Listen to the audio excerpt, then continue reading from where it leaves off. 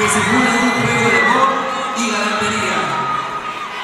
El quinto año